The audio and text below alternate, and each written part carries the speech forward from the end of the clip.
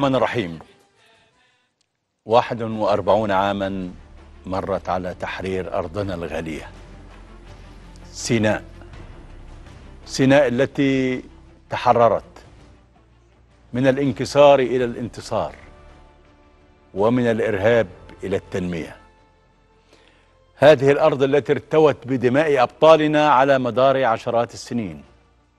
اليوم نعلن للعالم أن سيناء خالية من الإرهاب الغادر خالية من أعداء الإنسانية ولم يأتي هذا الأمر جزافا.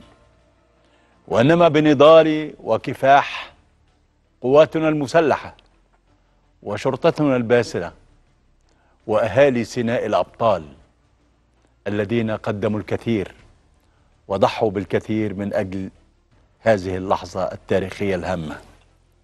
نعم. إن من يقرأ سيرة سيناء عبر التاريخ يدرك أنها مفتاح الأمن القومي لمصر ويعرف تماما أن هذه الأرض التي ارتوت بدماء المصريين كان الثمن غاليا لكننا كنا على ثقة وعلى يقين أن سيناء ستعود. سيناء عادت بفضل الذين ضحوا في حرب الاستنزاف وبفضل الذين ضحوا في حرب أكتوبر 73 وبفضل كل من دافع وناضل من أجل أن نرفع علم مصر على سيناء.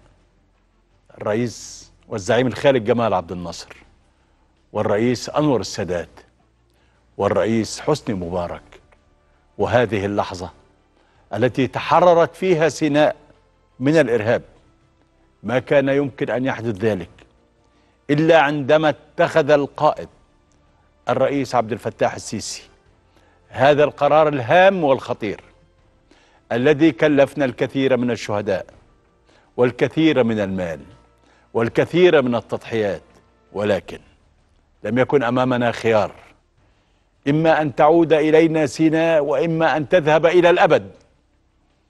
وإما أن تمضي في طريق الإرهاب فتشكل بالنسبة لنا خنجرا في ظهر الوطن. التضحيات جسيمة. صبرنا. وناضلنا وكافحنا. ولعبت كل أجهزة الدولة والشعب وأبناء سيناء دورا مهما حتى نصل إلى هذه اللحظة التاريخية الهامة. نعم. نحن أمام عبور جديد. سيناء أصبحت خالية من الإرهاب. سيناء تحررت. والآن نحن في إطار معركة جديدة وهي معركة التنمية التي بدأها الرئيس عبد الفتاح السيسي منذ أن تولى مهام السلطة في البلاد. وجوه التنمية وآلياتها متعددة ولكن كما وعد سنرى في المرحلة القادمة ما يجعلنا نفخر بالفعل بأن أرض سيناء التي عادت وتحررت أصبحت منارة وأحد العوامل المهمة لتنمية هذا الوطن والحفاظ على اقتصاده القومي. كل عام والقائد الأعلى بخير كل عام وقواتنا المسلحة بخير. كل عام وأبناء سيناء بخير. كل عام والشعب المصري بخير. كل عام ورجال الشرطة بخير. والتحية والتقدير لكل القادة والزعماء الذين ناضلوا من أجل أن نصل إلى هذه اللحظة التاريخية الهامة في عمر الوطن.